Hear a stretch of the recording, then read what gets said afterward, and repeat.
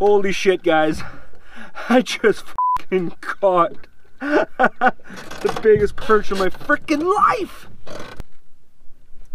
Ugh. Just, just shy of 14. Just shy of 14. Oh.